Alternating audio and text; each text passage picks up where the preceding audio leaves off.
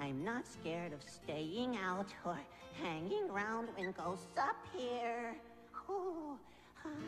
Scared of anything except of being here.